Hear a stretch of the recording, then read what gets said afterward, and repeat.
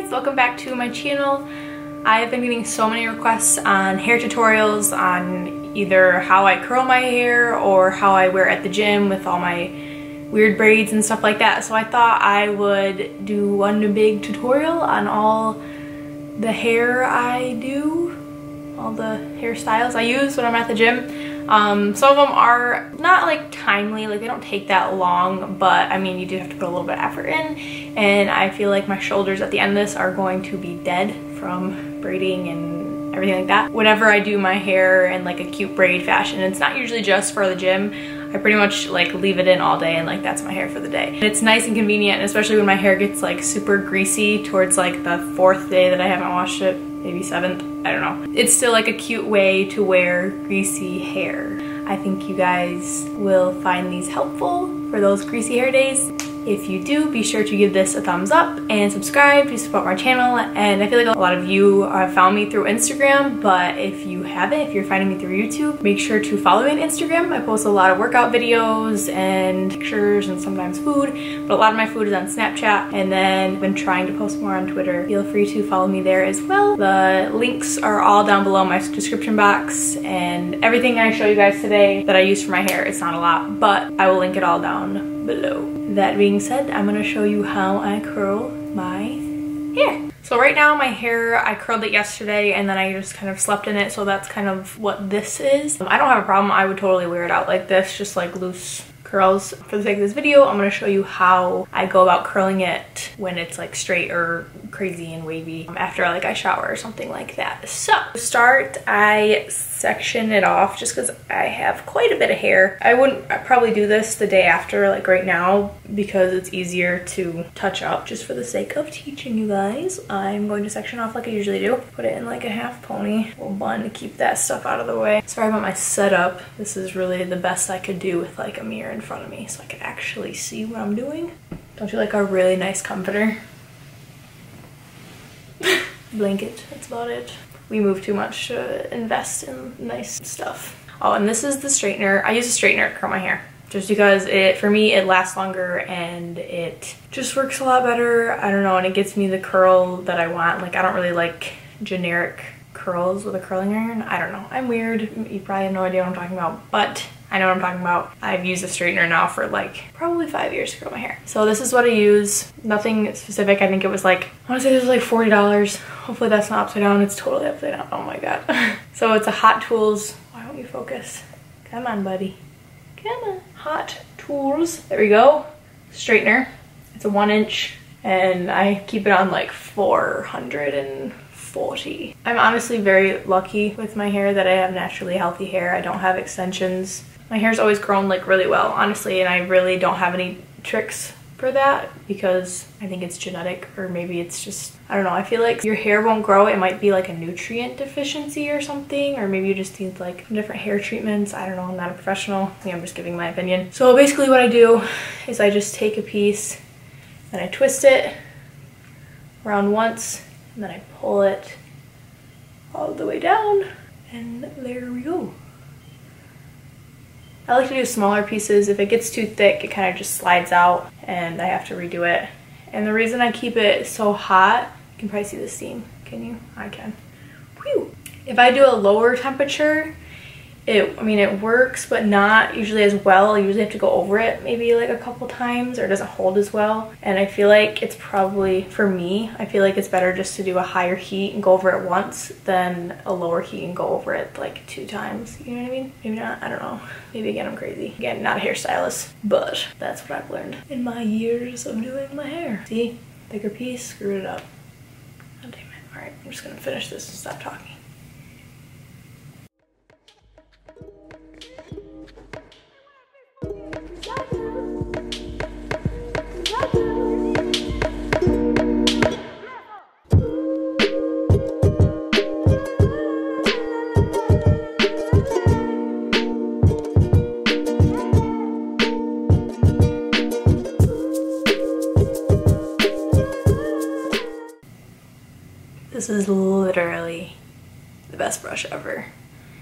obviously meant for wet hair because it is called the wet brush. I mean, literally like the Tangle Queen right here.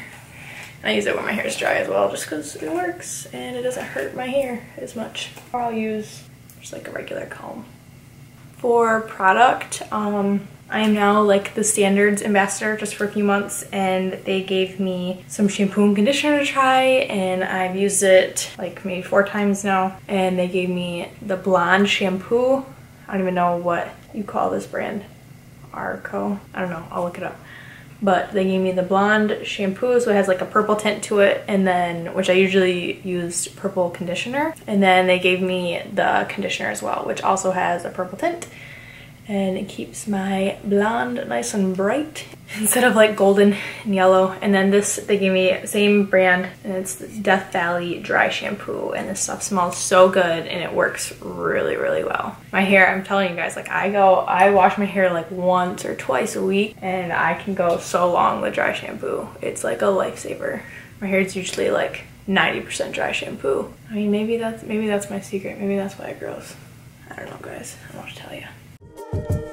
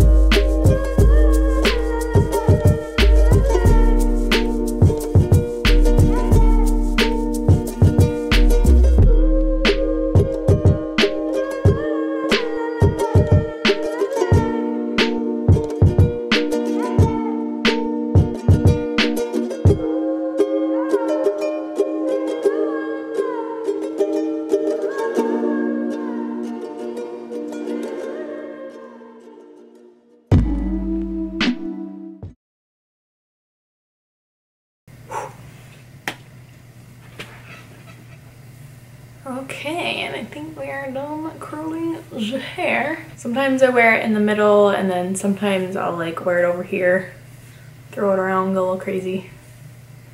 That is how I curl my hair with a straightener. Hopefully that helped you guys out a little bit. I don't know, maybe it wasn't helpful at all. Sorry for wasting your time. But for the next one we're gonna do, I had so curling my braided bun and then regular braids and the braided ponytail, which is kind of will go hand in hand with the braided bun. So basically for these, you're gonna know, you're gonna need to know how to French braid, which this summer I honestly never thought I would be able to do. And I tried to get John to learn how, and then I think he was like busy doing something and I got really impatient. So I just tried on myself and it was really obviously it was like super loose and like I missed some hairs the first few times but I it was French braid and I did it and I just kept practicing and practicing and practicing and now I can just do it. Not really fast, but it's not that, it's not as hard and impossible seeming as it used to be. So honestly, if you're someone that thinks you'll never be able to French braid, just try it. If you know how to braid, all you do is add more hair. Literally, that's all you do. And then as you like practice and practice, you'll figure out like different techniques that help make it look better, like pulling less hair instead of more hair and like which way to go, under and over. Oh, I'll do Dutch braids, I guess, too. Damn, my shoulders. gonna be rough. That's fine. All right.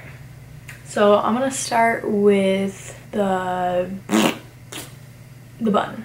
So I use these are really old and dirty and gross, but just little rubber bands to hold everything in place. So usually my hair would be like straight or like natural or something during this, but so I will part it down the middle and for the bun and the braid, you don't have to go all the way back. Just need to go like part. But sometimes I will, I'll still put one half in like a ponytail just to keep it out of the way. I will start braiding this side. So this is gonna be difficult and weird. Maybe I'll get closer so they can see better. God, I'm so obnoxious. Okay. So I take a little section from right here. So I'll divide it in two, three. And I always, no, it's getting hot. Okay, so camera overheated, had to take a little break for a little while. Okay, so we're gonna grab this piece up front and divide it into three sections. Uh, for a Dutch braid, you would go under the middle piece. That's like the motto, like under the middle. I've tried Dutch on me personally. I like regular for the bun and the ponytail look. So I'm gonna do regular. So I go over, so I always start on this side, I don't know why, preference. I always start right here, go over the middle, pull it tight, and I go over the middle on that side, pull it tight. Now I'm back to this middle one. I'm gonna grab a piece of hair. Not too huge, but not too small.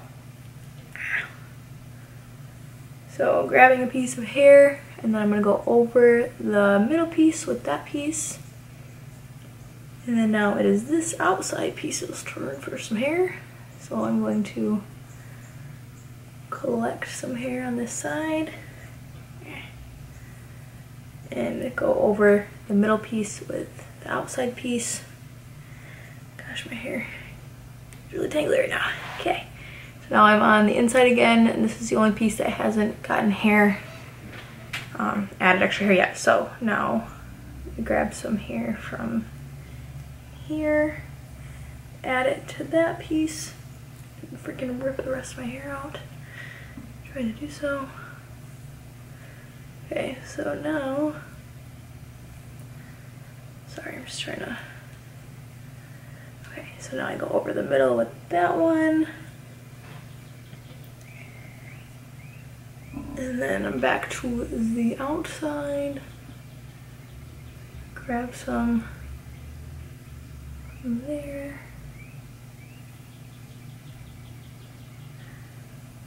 And then go over the middle again. Then I'm gonna grab one is the last time for the ponytail fun look. Grab one more so I go to like the back of my head. So I'm, I'm going over again. And then I'm just gonna braid the rest a regular braid. And my shoulders are already on fire.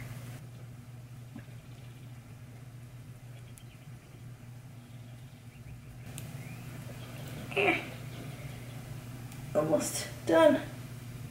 Here we go. Okay. Whew. if you guys can hear these birds, but it makes you really happy. So it makes me kind of sad because I feel like they think it's spring, but probably gonna get slammed with snow again. All right, so now we have a French braid that goes into a regular braid, and then the rest of my hair is like just down normal, whatever. So then I'm gonna do this side. So uh, we are, we are starting over. Why do I look so bright? Ooh. Today was supposed to be shoulder day. My shoulder already... Wow, I just mumbled really bad. Sorry.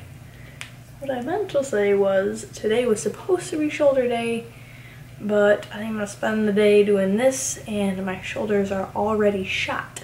So we're gonna start on this side now and do the same thing.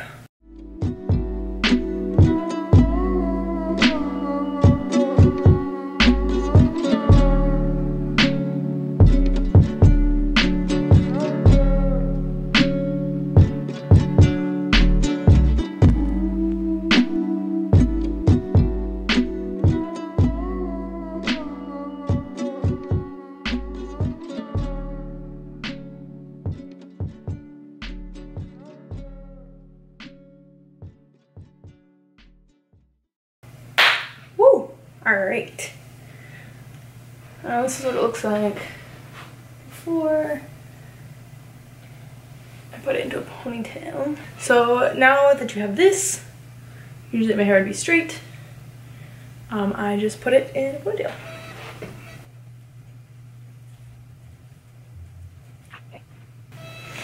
And this is the final product.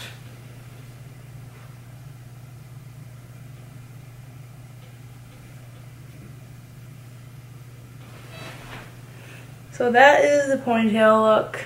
Sometimes I'll pull like my hairs out right here, not when they look like that. But I'll like curl them or straighten them. Something oh like that. All right. And then, oh damn, we have three more hairstyles I need to do. I'll show you guys how I do my buns. So how I do my buns, this, I'll show you my top knot bun as well. But, so I'll just explain first because I'm facing away. So I basically put it in like a regular like like you're gonna do a ponytail, but you don't go all the way through. So then that bun is right there, and then all that hair is still hanging off the end, and then you wrap that hair around, and then tie it all up. So here we go.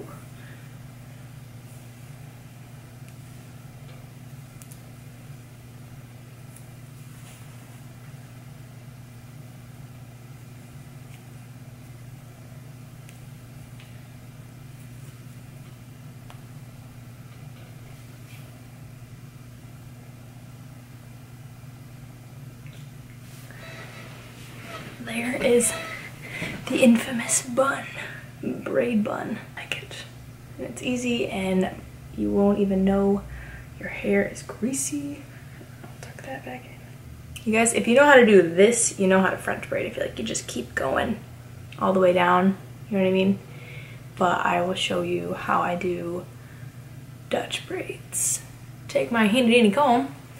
I'm going to part down the middle, which it already basically is. We're gonna go back, back, back here. Go all the way down. Tie this up this time. Hopefully my part in the back is straight. If not, don't care.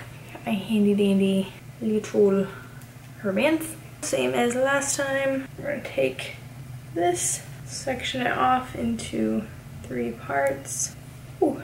And then I'm gonna start but this time we're gonna go under the middle. So I'm starting on this side again, going under the middle, that guy, under the middle with this guy. We end up back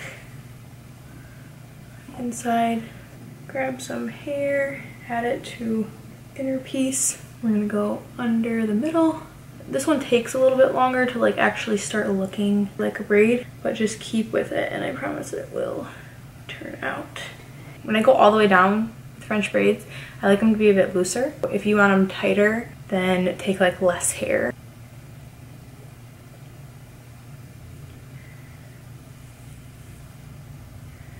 Make sure you kind of brush them out so you don't get like little hoops that stick up, you know what I'm saying? So I gotta angle it this way. Instead of going straight back from the braid would be straight back your head if you want it kind of like angled on the side. You know what I mean?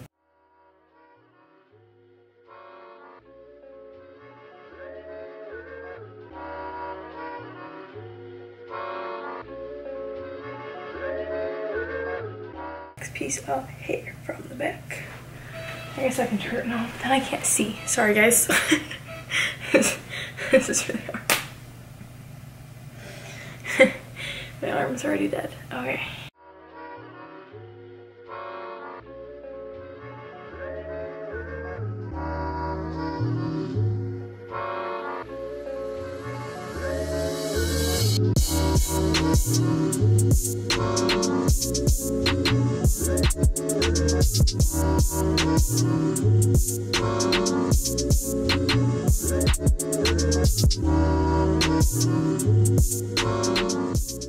Done. One side. Ah, queen.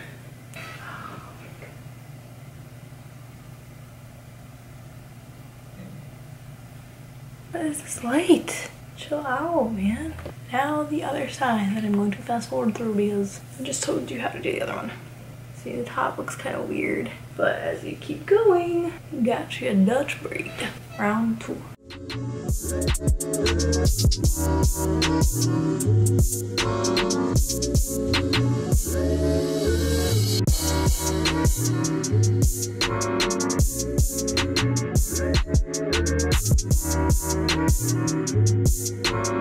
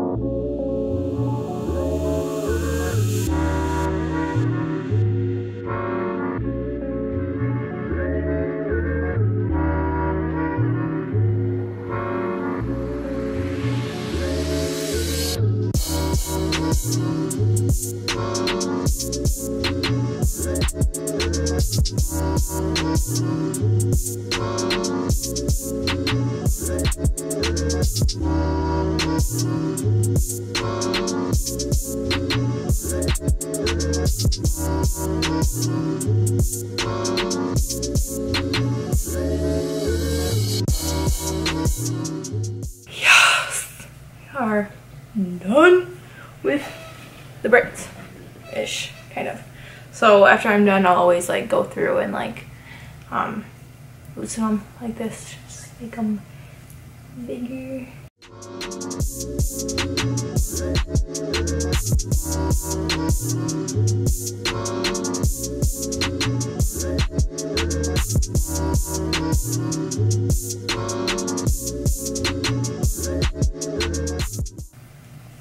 So my part is kind of messed up in the back on this one. I just saw because I tried to take a picture. And since my hair is curly, they look like all jagged and shiz, you know what I mean? But here is the final product.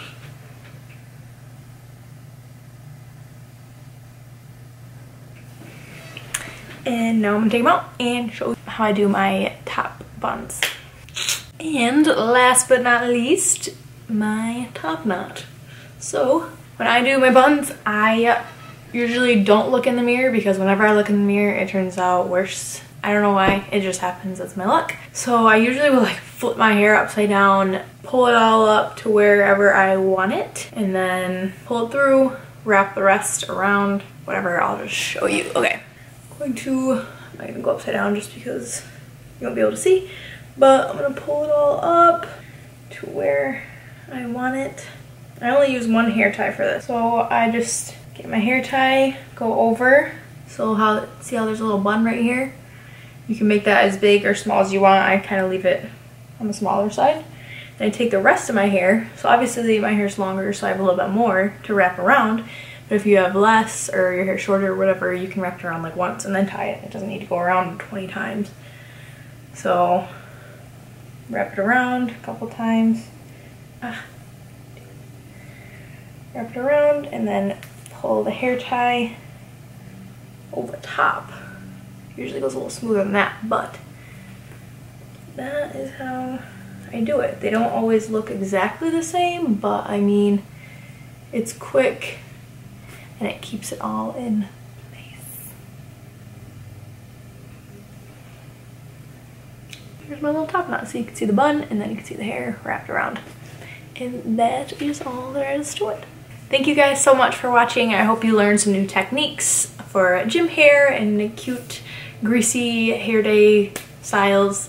Um, if you like this, be sure to give it a thumbs up and subscribe so you'll be notified every time I post a video, which I'm gonna work on doing more. I'm recording like two or three today, and then I'll have them up every like two or three days or something like that. So thank you guys again. And for all the products I mentioned and whatever I used, it is in the description box below.